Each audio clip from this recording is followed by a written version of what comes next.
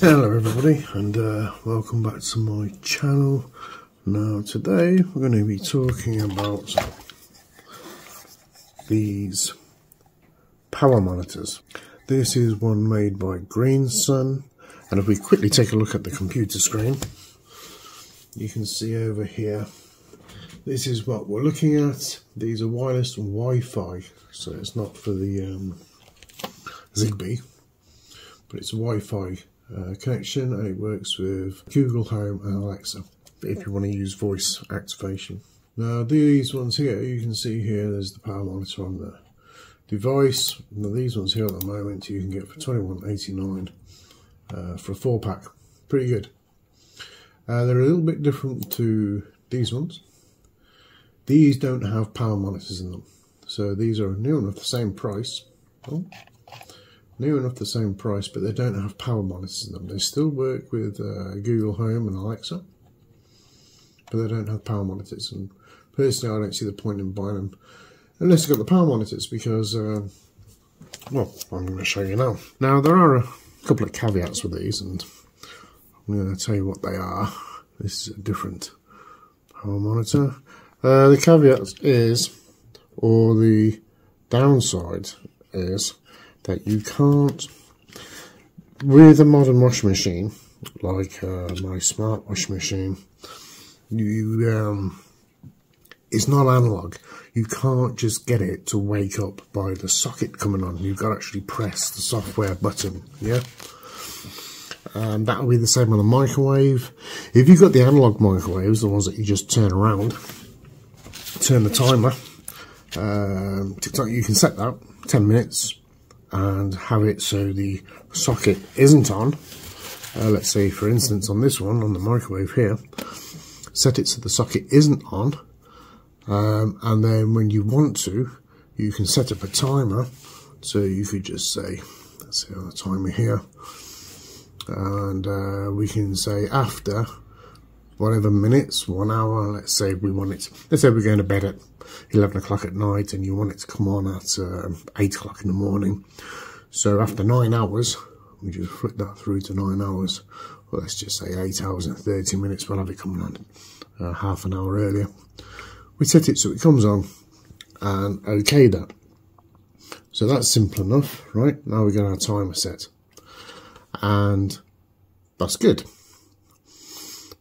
but you can't do it with a touch screen programmable type microwave because you've got to be able to you know you, you these things can only switch on and off things? So if you've got your kettle set to the on position yes it can do it. Um, if it's a, if it's an electronic type of kettle you can't do it. Unfortunately that's in a way is it um, is it a bad thing?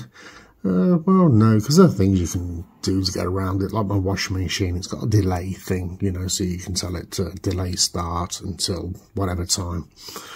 And I'm pretty sure with microwaves, I mean, I don't know the microwaves, but any, anything that's analog like that, you clunk on and off switch to actually power it on and off. And that's all you got to do to make it work. Then it's fine for um, the great things that it's useful for are things like uh, today's uh, TVs.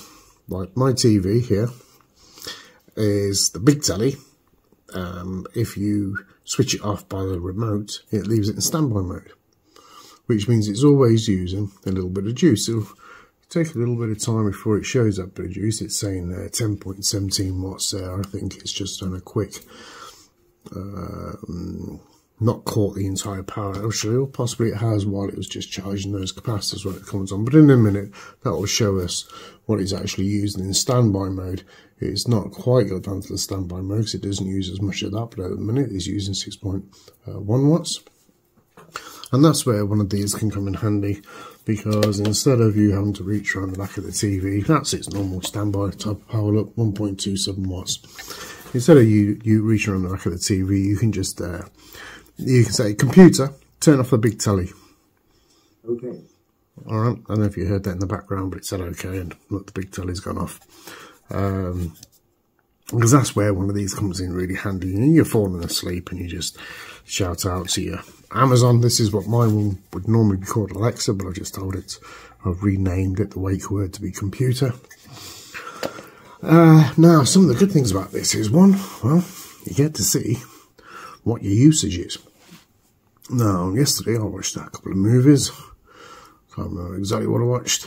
Um, and this is on the old thing, so I'm going to go through this now quick.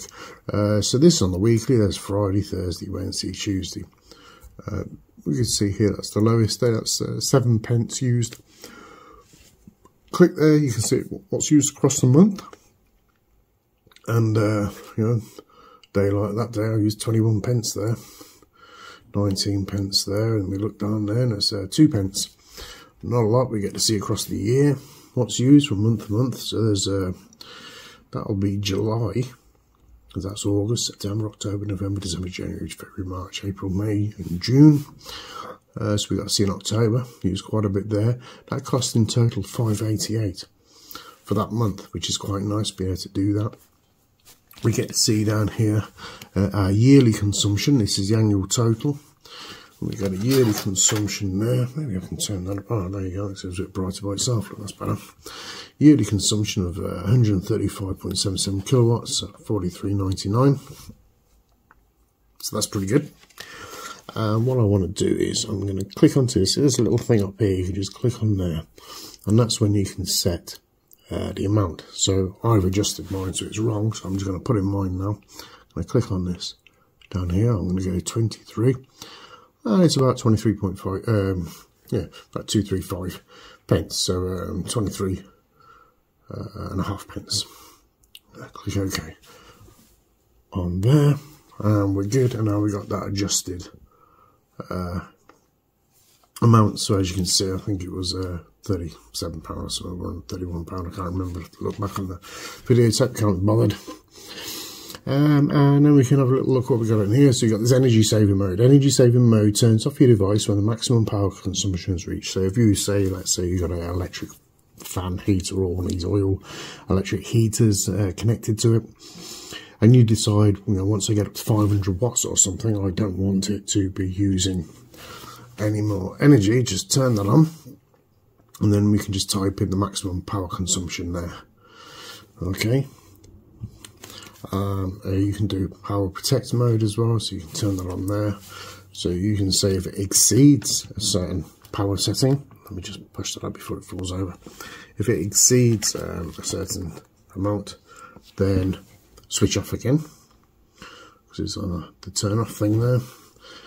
So I've, I've never used those, but I can see where they could come in handy if you're just trying to let's get rid of that my screen here. I'm just going to OK that into there.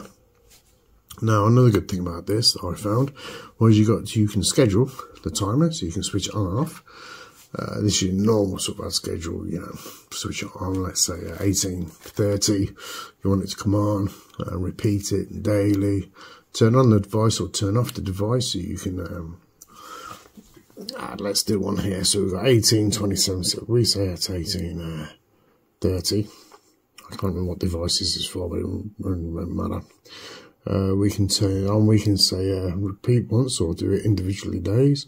We can say turn on or turn off the device, which is pretty cool.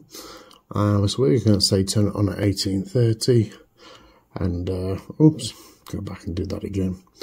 We're going to turn it on at 1830 it's just going to do the once and so we're going to say okay and here you can see there's a little little icon here. This is sunrise and this is sunset. So you can tell it to do it, let's say for lights. Uh, turn it on and off at sunrise, sunset. You say OK there. And now we've got our turn on. Well, that's all well and good, but we also want to be able to turn it off. So we could say turn it off at uh, 1700. So it's only going to be on for half an hour. Then we do the same thing, just but this time put it off there, and then it's we could do it at 1732, 1735, you do it for whatever you like, but it's a normal create schedule type of thing. And if we want to get rid of that one, we can delete it by just confirming that delete there. We're back to no schedule. So that's all pretty good. We got a timer. Um, so Again, we get the choice between turning off the device after a certain amount of time uh, on the device, sorry, or turning off the device a certain amount of time. And we can uh, put that onto a straight away. We're going to go for a, a countdown a timer, and then your device will turn off, which is pretty good because you can use that. Um, oh, let's go back in here and just just that you can use this timer um, we can stop it there. And we can use the timer um, let's say when you go to bed and you of want to charge up my phone now and rather than leave your phone plugged in all night which damages the battery because it's constantly keeping at 100% and the batteries don't like it you can just put on a, a timer if you like um, and do the do that. And it's pretty much the same thing with this engine thing. Engine mode means each time the device is turned on, it will automatically turn off after a period of operation. So, um, I'm trying to think what else you might use this for apart from charging um, your phone. And off the top of my head, I can't, but that sort of thing again, you could use it for, you could tell it to stay on for an hour and a half. Um, and just set that to do that. Mm, same sort of thing as the timer, but I'm sure there's some people out there be able to think of other things that you can do with that. And um, and then you got this away mode, so start uh, and end time. So it's basically just putting in a few of the settings that you might have used if you set up a schedule for turning this thing on and off through this system. But still, nice, easy, uh, quick way to get to it there. Now, one of the things that we did like about this was not only have you got the ability to switch these things on and off and you get to see what your weekly uh, on here because we're looking at the week of what we've used 41 pence on the big telly we get to see it on the monthly. We use £1.91 so far and these are the days. And of course the nice thing about it is you've got the, the monthly average here 266 and the total annual amount. Um, what else what else can you do with this? So what we're going to do is we're going to get rid of a device. So we're going to go onto this and we're going to click into the settings here and we're going to delete this device. We're going to delete it on purpose. Uh, boom, that's it, we're gone. Alright, so this now is, if you can see it, let me just shift these out. I've got wires plugged into my phone. You see that look? It's in pairing mode. Now, in order to get this to work, you want your Wi-Fi on, which mine is, and you also want your Bluetooth on. Okay, I'm not sure about the location. My location's on anyway. So let me just uh, just say done on there. And then we're going to go into add a device. So up the top here you see this um, plus button. So we can click on there and because we've got our Wi-Fi on or Wi-Fi, whatever you want to call it, and our Bluetooth, we can start looking to add a device. We're going to add a smart plug. I'm just going to look down and see if there's one branded um, green energy or anything like that. Note these are all different. things. There's loads of different things. We're just going to go for the smart plug. Nearby device. Look, allow access to nearby devices. Go to settings. Allow. Click here to enable access. And search for devices. Allow location access while using the app. And I think what we've done is we've found ourselves a smart plug there. It's connecting. There we go. We're going to choose a, um, probably shouldn't have shown that. There we go. To choose a network to go on. We're going to connect. And now we've successfully connected to the router. It's connecting to the VeSync cloud. It says there we go. Initializing device. And now we're going to choose where we're going to pull it. Um, I'm just going to say I'm going to put it into uh, home so it will just be in the general area. We're going to give it a name and just for now I think I'm just going to call it smart smart but I'll start it with that and I'm going to go next and save your device is set, go ahead and try it out. So that's that clicked. Um, third party apps, we don't want it to be with that because I don't have that. Uh, we're going to be happy. Mine's already connected to um, the Amazon system. So if I say computer, turn smart on. Sorry, what device? Ah, now this is because it's not spelt as Sorry, what device? it's not spelt the way it should be. So I'm just going to click smart there, click OK. Right, now it's called smart there. Computer, turn on smart. Okay. Okay, that hasn't changed yet, but it will, and that's switched itself on. So you heard it click down here, it's just not showing up here just yet. Uh, there you go, it's showing there, and you can see it's on there. It still says smart with a 4 up here, but if you just back out of that, and then we'll go into that now, and it'll have changed it smart. Um, well, that is basically it. You may want to take note that if you were going to be trying to put two of these in together next to each other, because they take up a bit of space, you can't. The two of those will not fit. But you can get a charger in next to it. Not a lot of space, look. But you can get a charger next to it, so you can probably put two chargers and two of these and just not right next to each other. But it's worth noting that um, if the network goes down, you've got a button on the side, so you can use that rather than um, rely on the network or any instruction to go across the network turn it on off. Just turn the button on off so it's not as low you're going to be left not being able to uh, um, change your power your power status from off and on. As you can see, I've got a few here. I've got mine set up so you've got like living room here. Now I've got box, that's my main computer, flea trap, the big telly, the amplifier, and the bench, which is on at the moment, in the kitchen. Uh, what would you do you want to move these around? So let's say we want to go back to the living room here. We want to stick the flea trap in the kitchen because we might want to do things and group. Um, the kitchen, we can go into manage devices and we can say to the flea trap here, uh, one, we can move it, we can rename it, we can share it, or we can delete it. These are the things we've got down the bottom here as our options, which is pretty good. Uh, the share thing is uh, basically just put in an email address.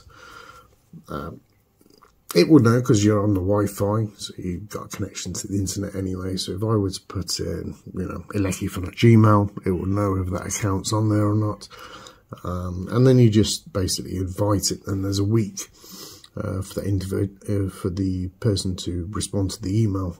Um, put the VeSync is what you're going to be using on this onto their phone. So let's just uh, back out of this for a second and just go on to what this actually is, this VeSync. Go back here. So this is what you're going to be getting for your Mac or your um, Android. That's the app you're going to be using. I haven't had any problems with it. I've not had any problems with the app. I've not had any problems with these devices. If I had, I would tell you. It'd be the first things pretty much that I'd tell you um, if there are any issues. I use these ones branded Greensun. I've not tried um, other ones of this particular um, setup. I am at the moment looking at these. Um, these are more like inline where you can't just plug something in, you got to connect something in. I've already swapped out a few of my things like uh, the amplifier. Uh, here is on one of these now, uh, even though that's that is actually this because it's not plugged in. If I were to uh, see that, if I were to let's see, get my finger there as well. Oh, it's got a. Is that plugged in? It's got to actually uh, get an online connection in the first place. So let's just leave that there for a second and it timed out. But like I say, look, even if it times out there, you can switch it on and off. This It just takes a, a few moments for this to get a, a network connection. Um, if I turn that off there and turn it back on, pretty sure we can do that now. There we go, look. turn it off. Uh, turn it back on. Yep. So they, they do react uh, pretty quickly. But I'm now starting to use these as well. I'll give you some more information on these at a later date. But yeah, um, you know, not not a bad, not a bad piece of kit. Like I say, I mean, I've got them all over place. Yeah, I know that wasn't going to work very well. I do have a proper little stand for this thing, but I can't find it. I get to see what my network uses. At the minute, it's using 6.57 watts, uh, which is pretty good. Um, I don't actually like any of that to change particularly, um, but I do get to see what it uses over the week, over the month, like everything else. Uh, we get to see the usage on these things. So I've been doing some internet browsing here. Seven pence five pence five pence and this is of course at that rate again. So in case you didn't see how I changed that rate there so I'm just gonna go 23 23 5 done. Say okay to that. Now we can see our done four pence and five pence on the on the higher ones. Uh, to be honest, I can, I can, for I like things that don't just work on the day when you get them. I like them to work nice and seamlessly in the app, and I like them to work as a device, uh, and not be one of these ones that after a few months you have to throw away or you find it to be annoying. This I haven't. Uh, if I had, I would tell you, and uh, and that's that. That's everything now. I nearly turned off my network. I wouldn't be very good with it. There's no locks. That would be quite good if you could actually lock these things. Like if you could uh, have the network, because you don't want that to be adjusted at all, ever. Um, you want that to be on. It'd be nice if there was a way that you could actually lock it. So you'd have to put in a password or something like that. Maybe that's uh, asking a bit too much from from the uh, from the device itself and the app. I don't know. But it is nice that uh, it's got all the features it's got. It's pretty much covered just about everything. So there you go. So that's it. That's what that's like. It's a nice robust piece of kit. It doesn't feel flimsy. None of this is loose. I've had stuff where it just felt like it was uh, going to come apart. It's got a nice firm switch on it. Um, yeah. I'm not affiliated or anything like that. I'm just an end user. I guess um, I'm quite chuffed when things actually work as uh, as well as what they as they should. All right, guys. Hope you found this useful, and uh, I'll catch you in the next one. Bye for now.